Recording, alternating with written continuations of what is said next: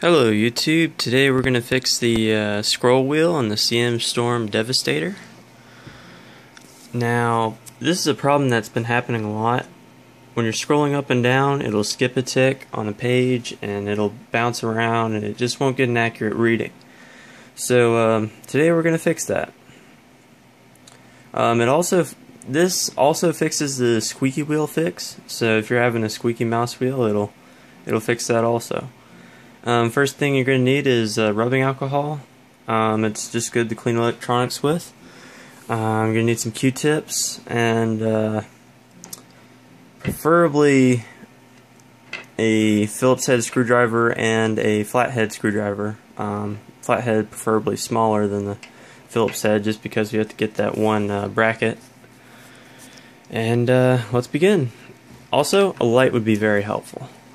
So pretty nifty.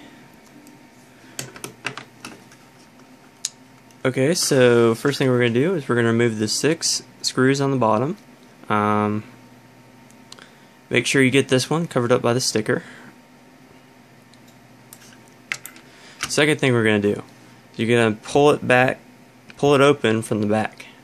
So, see if I can pop it open while holding the camera here. Alright, so the next thing you're going to do, you're going to remove that um, that bracket. It just opened up on me, but it'll be completely sitting into the, the bracket mount, and you need your flathead screwdriver for this. You need to you need to uh, separate here and here before pulling the top notch out so you don't rip the uh, wires out of the top notch. Once that's off, you can remove that. Now here is the problem, right here. I've already removed the screw right here, so um, you're going to need to remove that first. Um, once you remove that screw, you can actually take this little thing out. This is the reader head. This, what it does, let me try to zoom out and get better uh, perspective here. What it does is it reads the inside of the mouse wheel and detects movements. When the inside of the mouse wheel gets dirty, that's when it starts, you know, skipping around and jumping around and get not no longer getting an accurate reading. It's because the dust is creating uh, little divots where it, it reads offset. So what you need to do is you need to get your swabs and rubbing alcohol and put a swab inside of the mouse wheel. There's a little gap here and you can just put the swab inside the mouse wheel and spin the mouse wheel a few times um, just to get all the dust off the inside of it. Um, swab the reader head just in case there's any dust on the reader head.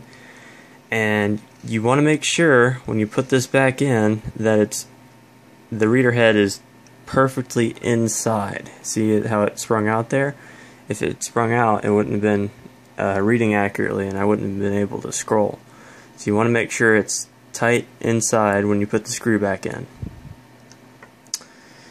and uh, that's that's the fix. So if you're having any trouble with that, that should fix it. Um, if it doesn't, I mean it's a pretty cheap mouse set. It's not perfect and it works all right. So um, if you have any trouble with it, you could probably just buy another one for you know ten bucks or something. And uh, that's that's what I got. Thanks for watching.